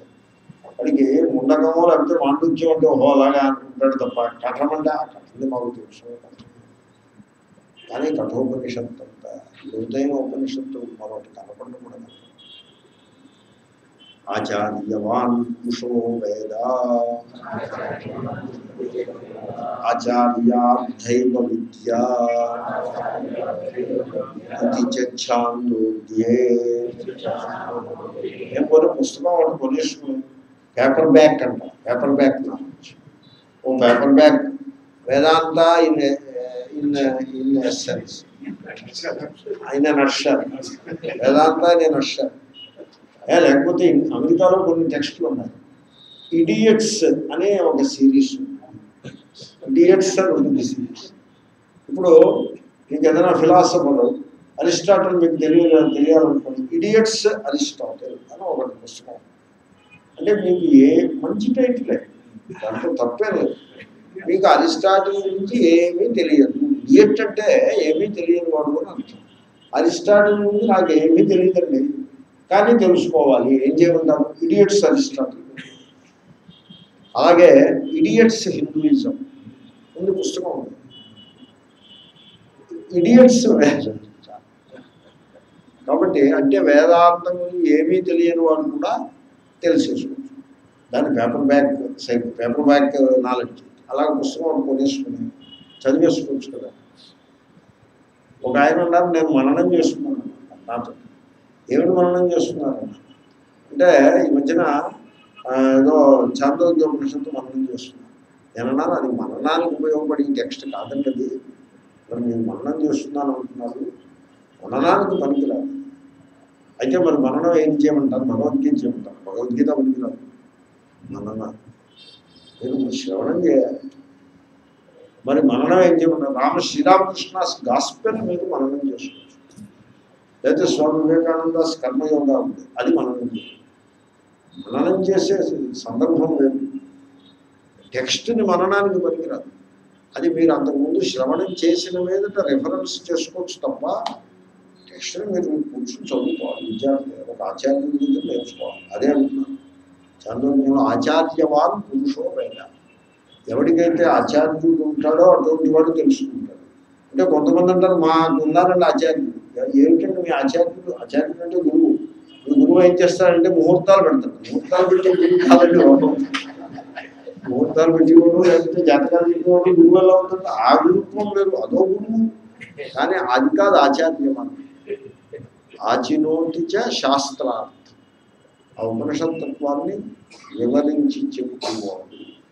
అటువంటి ఆచార్యుని కలిగి ఉన్నట్లయితే వ్యక్తి మనిషి తెలుసుకోగలుగుతాడు అలా అది ఎందుకు వచ్చేసారంటే తత్వం సూక్ష్మమైనది అని చెప్పడం కోసం తర్వాత విద్య అంటే జ్ఞానము ఆచార్యాత్ హ ఏవ ఆచార్యుని నుండి మాత్రమే అది లభిస్తుంది ఇక్కడ ఆచార్యుని ప్రశంస కాదు మీరు సందర్భం చూసుకోవాలి ఆచార్యుని ప్రశంస కాదు తత్వము సూక్ష్మము అనేదానికి దానికి ఉపోద్బలకంగా చెప్పిన మాట.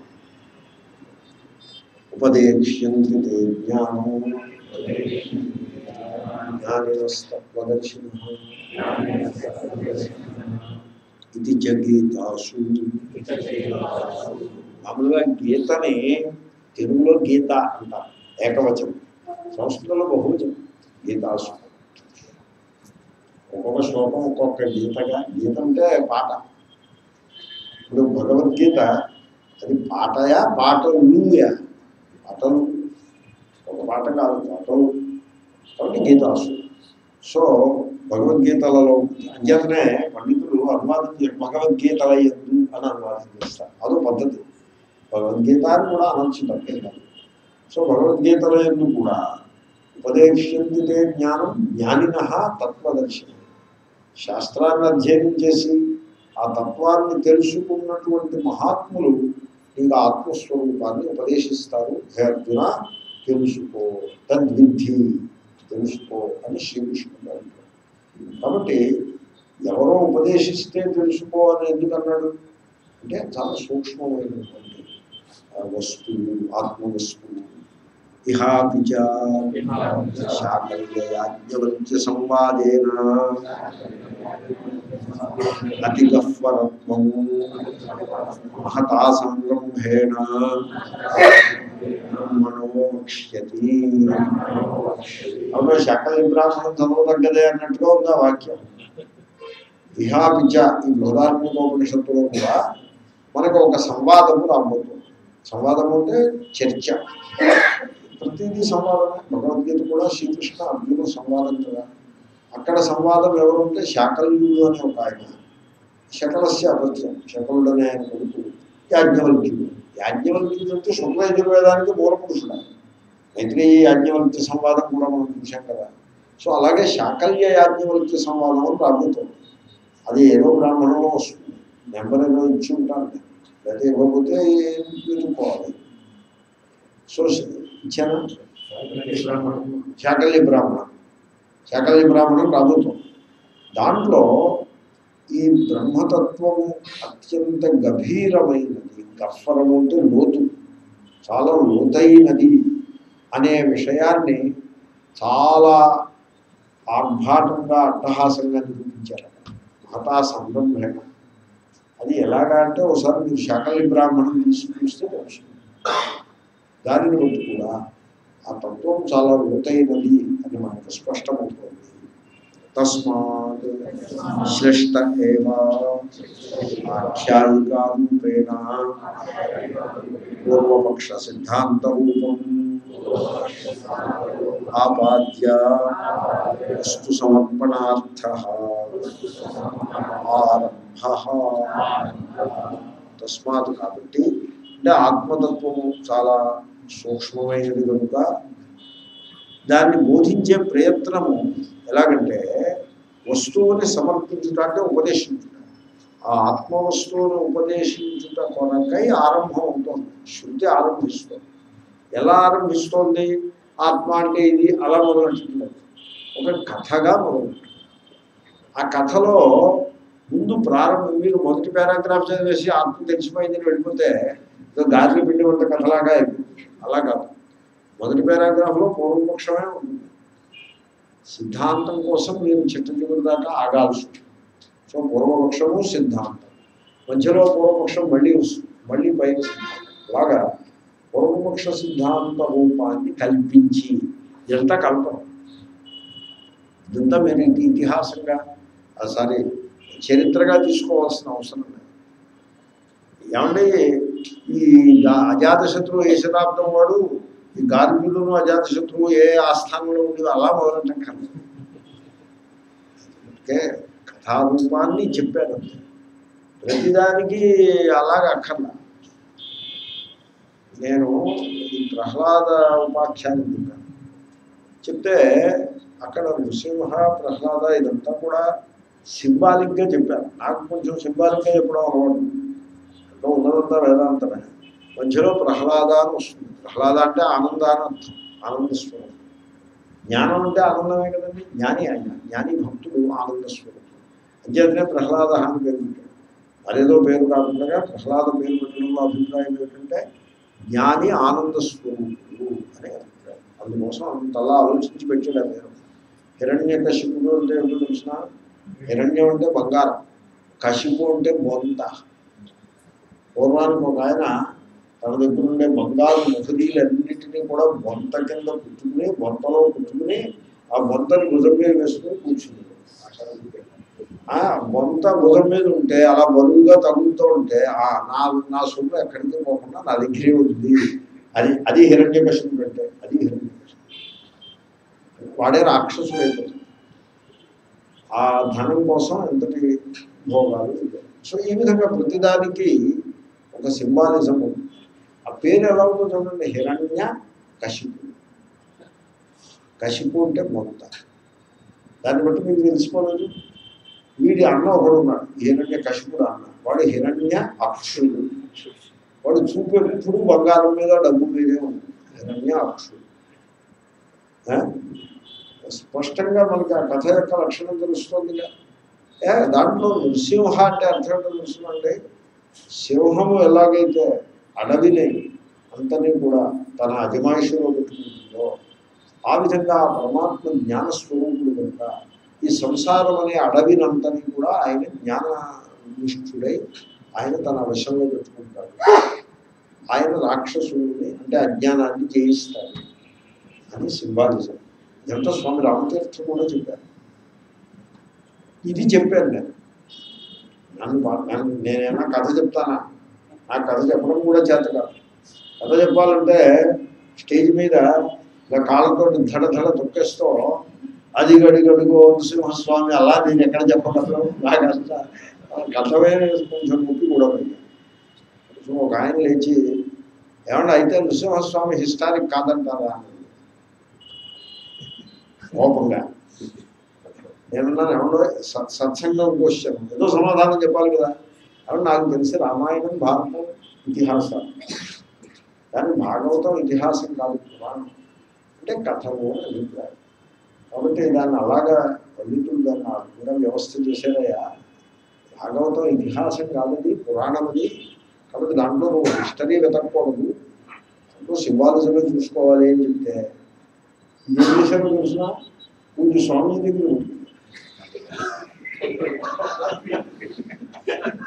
ఏమంటే మీ శిష్యుడు ఇలా చెప్పాడు మిమ్మల్ని మమ్మల్ని ఏం చేయమంటారు?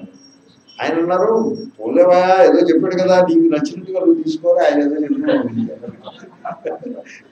అంటే నేను ఎందుకంటే అలా నరసింహస్వామి దడదడలాడుతూ వచ్చేసాడు స్తంభాన్ని పగలగొట్టుకుని వచ్చేసాడు అని. అదంతా రియల్గా జరిగింది.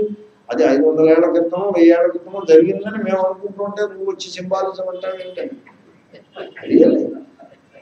ఇట్స్ ప్రాబ్లం కాబట్టి ప్రతిదీ అలా కథ కింద పెట్టే ఇక్కడ కూడా శంకరులు ఏమంటున్నారంటే ఆఖ్యాయిక రూపం ఆపాద్య ఆ బోధని ఒక కథ రూపాన్ని దానికి కల్పించి చెప్తాం అని శృతి ప్రారంభం చేస్తారు కథ అంటే పెద్ద కథలే ఉండవండి దీంట్లో ఏమో ఇంకా అక్కడి నుంచి మామూలు మీకు పెద్ద పొడుగాటి స్టోరీ అలాగే ఉండదు. అంటే పూర్వపక్షం సిద్ధాంతం అనకుండగా కథ చెప్పడం. పూర్వపక్షము సిద్ధాంతము అని ఇంకే తర్కశాస్త్ర గ్రంథాలు చెప్పినట్టుగా కాకుండా వ్యాజ్ఞవల్క్యుడు ఆయన ఒక ఆయన ఉన్నాడు లేకపోతే గార్గ్యుడు ఉన్నాడు అజాతశత్రువు ఉన్నాడు అని దానికి ఒక మంచి విషయాలను జోడించి మంచి సంస్కారము ఒక వాల్యూ సిస్టము కల్చర్ కూడా కథలో మనకి కనబడు ఆ విధంగా శృతి ప్రారంభిస్తోంది. ఇంకా ఏమి? ఆచారం విద్యోపదేశార్థశ్చ ఏమంటే ఆ కథకి ప్రయోజనము పూర్వపక్ష సిద్ధాంత రూపంగా తేలికగా అర్థం అవడం కోసమేనా? ఇంకేదైనా కూడా ప్రయోజనం ఉందా? ఉంది. ఇంకో ప్రయోజనం కూడా ఉంది. ఛా! ఏమిటది? ఆచార విధి అని ఒకటి. ఇప్పుడు కూడా వేదాంతాన్ని అధ్యయనం చేసేప్పుడు చెప్పేప్పుడు వినేప్పుడు ఆ జీవితంలో దాన్ని అన్వయించుకునే పద్ధతి. వీటన్నిటినీ చెప్పేటువంటి కొన్ని నియమాలు ఉంటాయి. వాటికి ఆచార విధి దానిని కూడా తత్వంతో పాటుగా ఉపదేశించటము శృతి యొక్క తాత్పర్యం. అది కూడా ఉపయోగం. ఓహో ఇలాగ ఉండాలన్నమాట మనం అని మనం తెలుసుకోవాలి. ఇప్పుడు గార్గ్యుడు ఉంటాడు చాలా పొగరుమూతగా ఉంటాడు తర్వాత ఆ కథ అంతా కొంచెం ముందుకు వెళ్ళిన తర్వాత ఓహో అలా ఏదో కొంత తెలిసినంత మాత్రాన మనం అలా పొగరమూతగా ఉండకూడదు అని తెలుస్తుంది కదా. అదే ఆచార విధి అజాత శత్రువు అన్నీ తెలుసున్నవాడే కానీ చాలా వినయంగా ఉంటాడు. గుడి ఎదుటిక వినయాన్ని ప్రదర్శిస్తాడు. అలా ఉండరా ఆ నీకేం తెలియదు పో అని అనకూడదన్నమాట. తెలియని వాడిని కూడా అలా అనకూడదన్నమాట అని మనకు తెలుస్తుంది. సో ఈ విధంగా అసలు ఎలా ప్రవర్తిల్లాలి? జీవితంలో ఆత్మస్వరూపాన్ని తెలుసుకునే సాధకులు అనే విషయం కూడా మనకి ఇక్కడ స్పష్టంగా తెలుస్తుంది. ఏం ఆచారవతో వక్తృశ్రోత్రో ఆఖ్యాయికానుగత అర్థ అవగమ్యతే. ఈ సంగ్రహవాక్యం వివరణవాక్యం ఏమిటండి? ఆ- ఆఖ్యా ఆచార విద్యుపదేశార్థశ్చ సంగ్రహవాక్యం. తర్వాత వాక్యం వివరణ. దాన్నే వివరిస్తున్నాను ఏమిటంటే ఆచార విధి ఎలా ఉంటుందంటే చూడండి ఈ అజాతశత్రువు గార్గులు ఎలా బిహేవ్ చేశారో మీరు చూసుకోండి. ఈ విధంగా ఉండాలి. శ్రోత కానీ వక్త కానీ ఇలా ఉండాలి. కాబట్టి వక్త ఇలా ఉంటే దోషమే శ్రోత ఇలా ఉంటే దోషమే.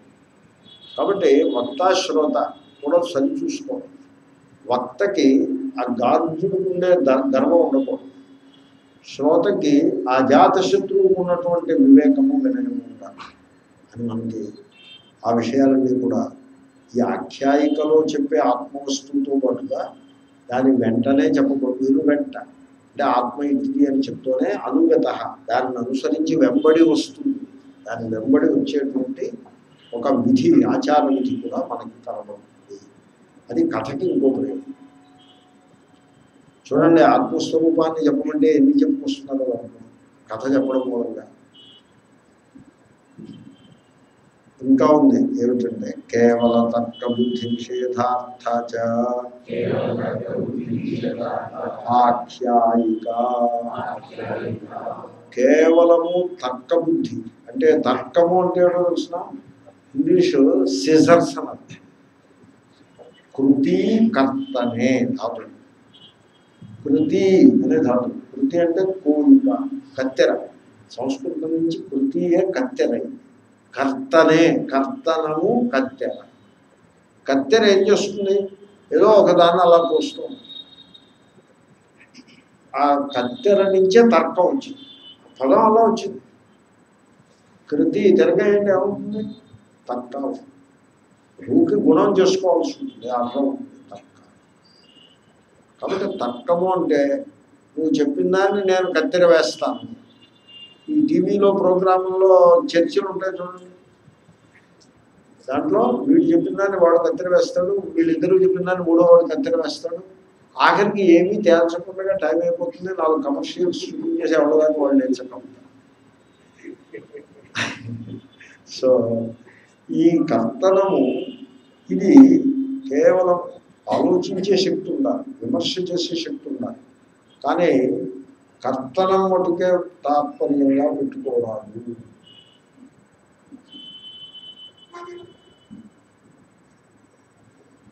అలా కేవల తర్క బుద్ధి పనికిరాదు అని నిషేధించడం కూడా ఈ కథకి మరో ప్రయోజనం. నైషా తర్కేణ మతిరాపనీయా. ఇది కఠోపనిషత్తే మళ్ళా.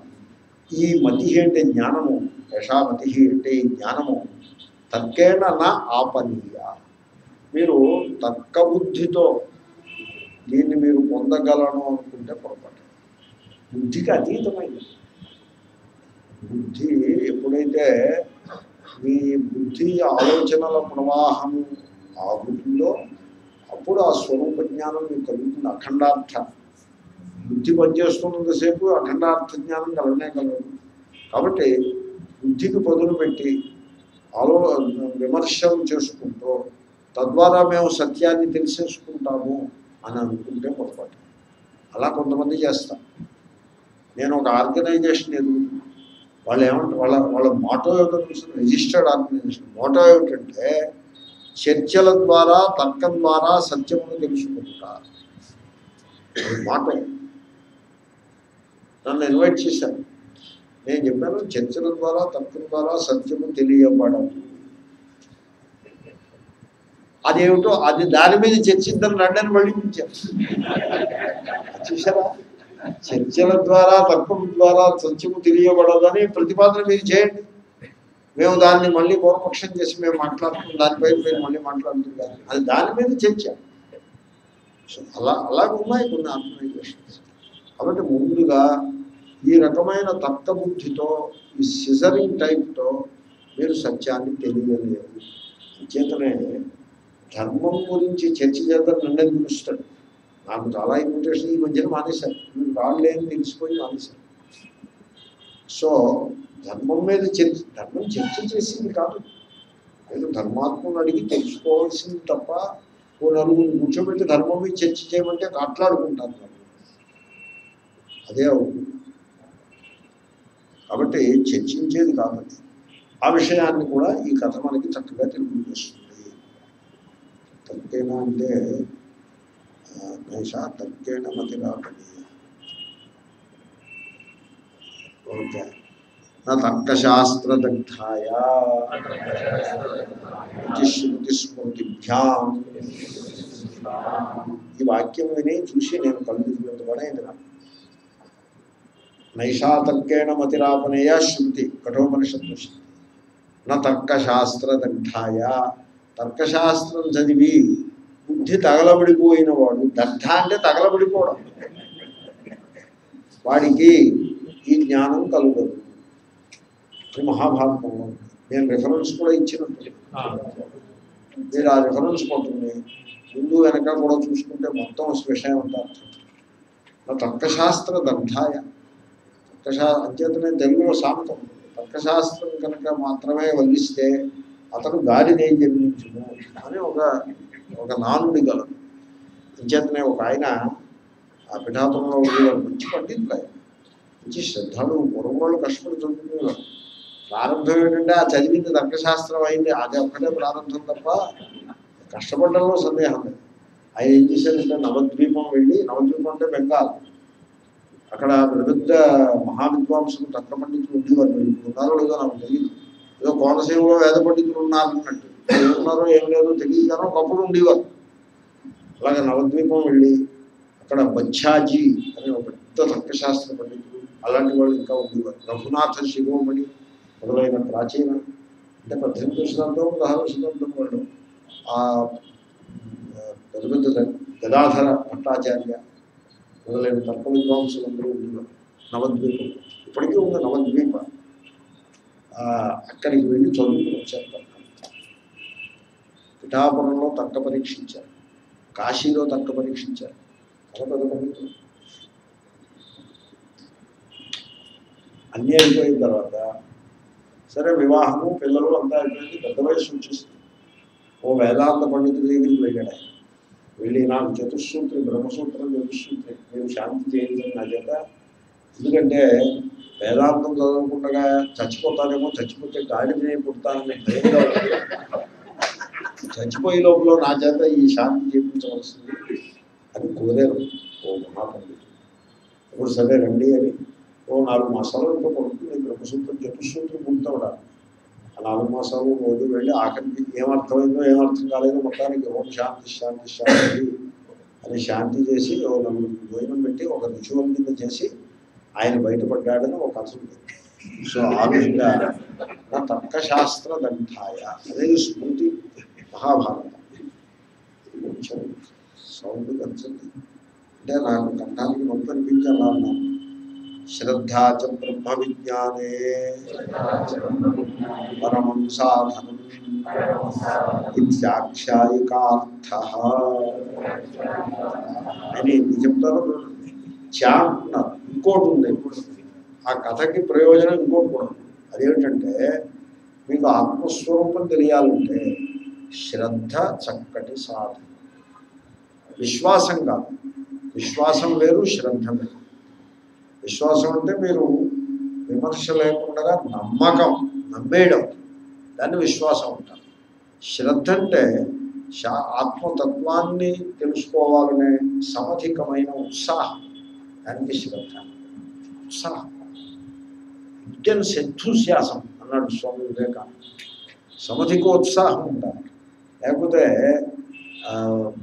పాఠం వింటుంటే మధ్య మధ్యలో ఈ రోజు పాఠానికి ఏం వెళ్తానులే ఆయన ఏదో మామూలుగా చెప్పేది ఏముంటుంది ఓ రోజు మిస్ అయిపోయినా నష్టం ఏం లేదు అని నిరుత్సాహం అలా కాకుండా సమధికమైన శ్రద్ధ ఉండాలి.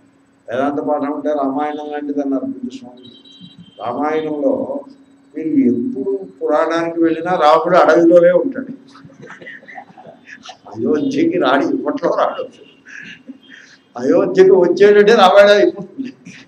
ఇంక రామాయణ పురాణం ఉండదు. రామాయణం పురాణం నడుస్తుంది నడుస్తుందండి అయితే పర్వాలేదు. ఎందుకంటే ఇంకా రాముడు అడవిలోనే ఉన్నాడు అనమాట సో ఆ రకంగా. సో వేదాలతో పాట ఉంటే అదో అప్పుడే చెప్తూ ఉంటా ఇంక వేరే ఏముంటుంది ఉండదు కదా. అలా అని కాకుండా సమధికమైన శ్రద్ధ ఉండాలి. తథాహి అది యుక్తియుక్తమే కదా. అంటే చాలా కరెక్ట్ అన్నమాట. ఎందుకో తెలుసిన?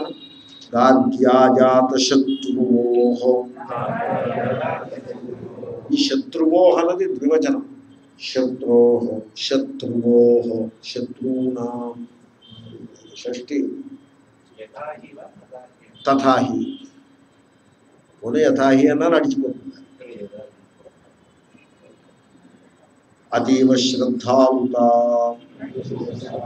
దృశ్యతే ఆఖ్యాయికాయాం ఈ కథలో మీకు గార్గ్యుడు వేదం చదువుకున్న బ్రాహ్మణుడు ఏదో కొంత గర్వపడ్డ మాట వాస్తవమే కానీ ఆ తర్వాత తెలివి తెచ్చుకుని అతిశయించిన శ్రద్ధను చూపిస్తాడు.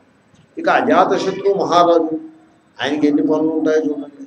ఆ పనులన్నీ కూడా పక్కన పెట్టి ఆయన ఆత్మవిచారానికి ఎంతో ప్రేమను కనపరుస్తాడు ఆ కథ చదివేప్పటికీ ఓహో ఇంత శ్రద్ధ ఉండాలా అని మనకు తెలుసు శ్రద్ధావాన్ లభతే జ్ఞానం. స్మృతి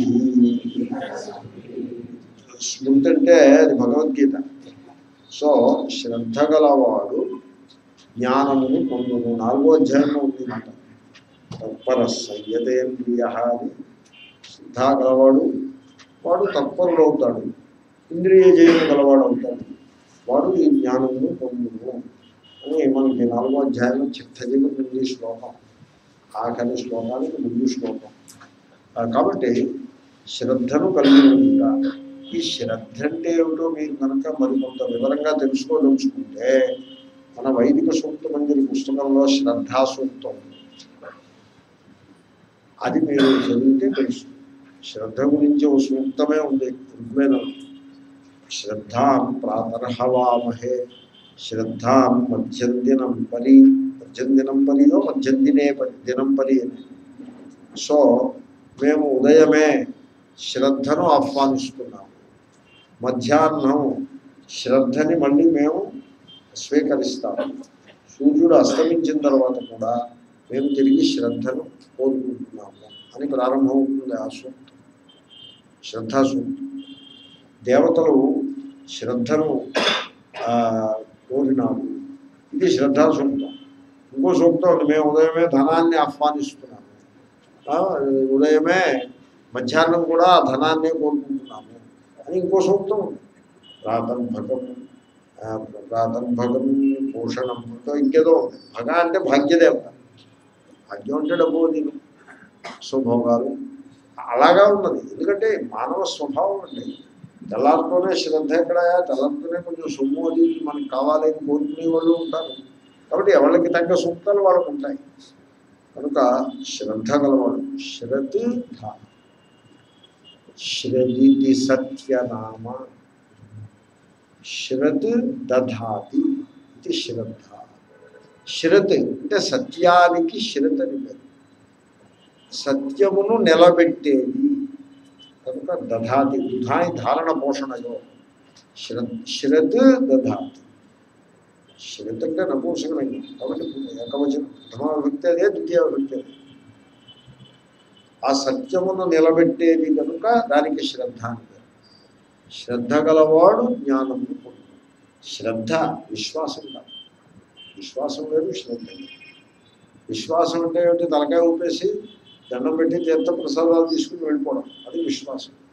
శ్రద్ధ అంటే తత్వాన్ని వంట పట్టించుకుని జీవితంలో దాన్ని జీవితంలో అది ప్రకటమయ్యేట్లా జీవించగా అది అది శ్రద్ధ. అలాంటి ఉత్సాహం కలిగి ఉంట అది శ్రద్ధ. కాబట్టి శ్రద్ధ గలవాడు జ్ఞానమును పొందును అని స్మృతి కూడా గలదు. ఓం ఓం శాంతి శాంతి శాంతి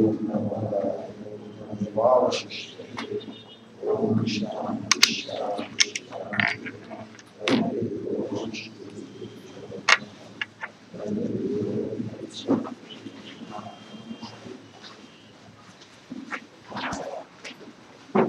చూడండి మొదలు పెడితే ముందుకు వెళ్ళిపోతున్నప్పుడే బ్రాహ్మణం రేపటి నుంచి మంత్రం వ్యాఖ్యానం కాదు